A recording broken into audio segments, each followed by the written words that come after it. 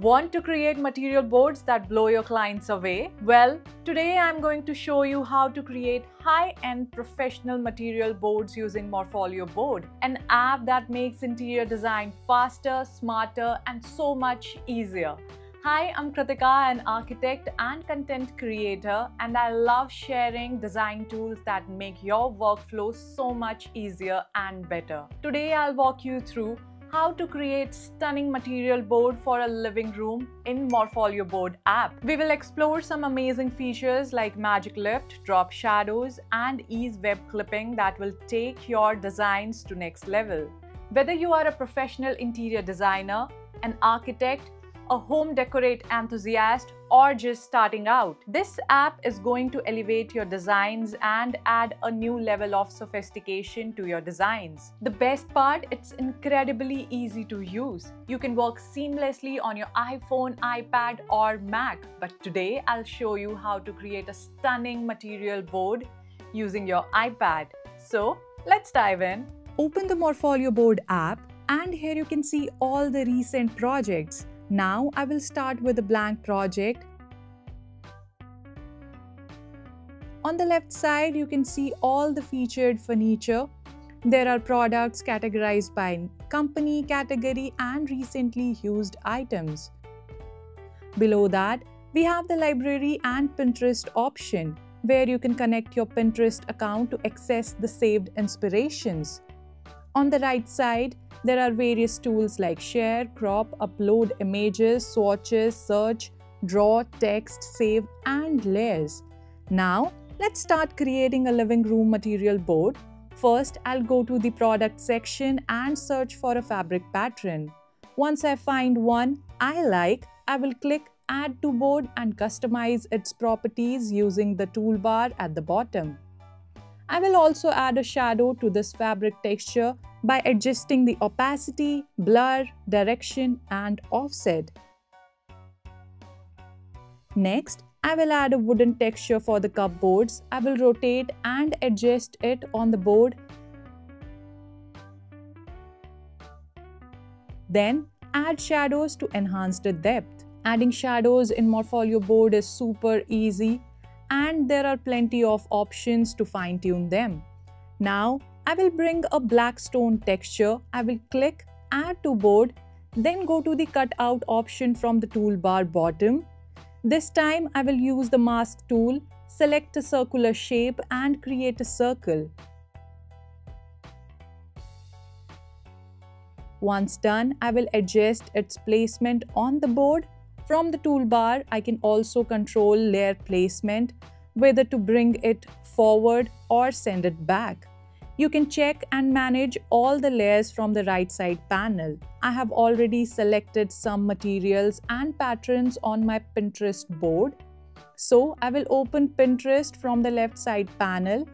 Here, I will simply click on an image and add to board to adjust it accordingly. I will also add shadows for more depth. I will repeat the same step for adding a white stone texture and then adjusting its layer by dragging it below in the layer panel before adding shadows.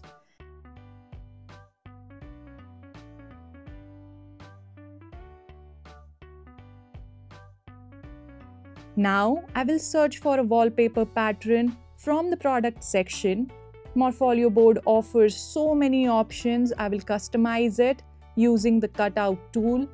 Again, I will create a circular mask. Adjust the scale and add shadow to enhance the effect.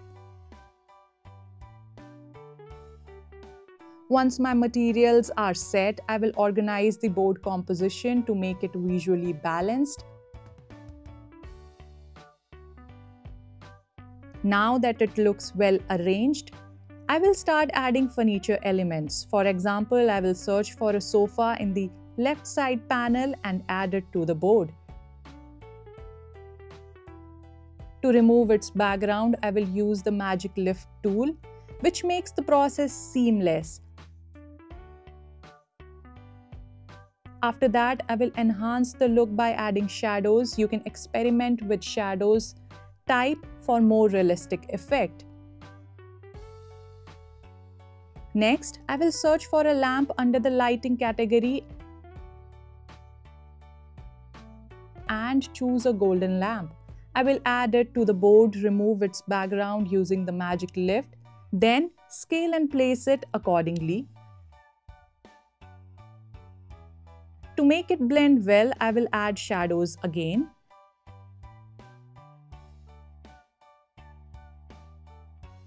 Now, I want to add some greenery to my board. I will go to the upload image option, select an image from my gallery and use the magic lift to remove the background. If needed, I can refine the selection using the plus more less tool.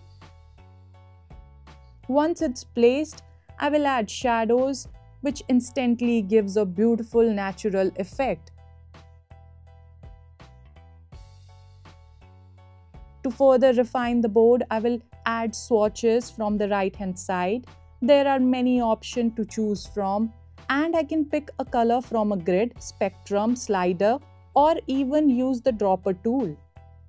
It also allows you to enter RGB, CMYK and hex code.